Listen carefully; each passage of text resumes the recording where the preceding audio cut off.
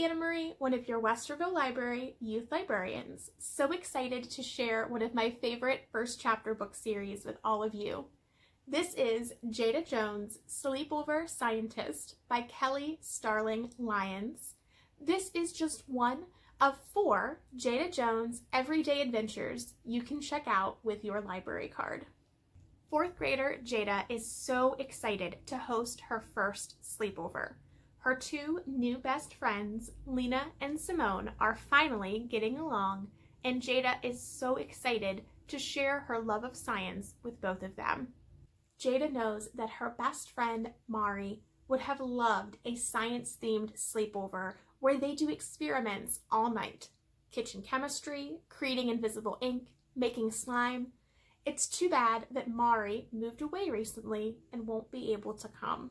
On the day of the sleepover, Jada gets a huge surprise.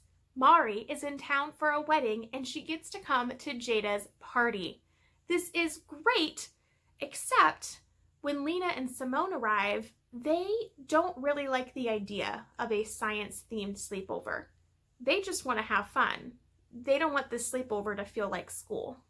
Jada insists it's her party and her rules, but soon nobody seems to be having fun. Jada has to figure out how to put her listening ears on and save this sleepover from being a dud.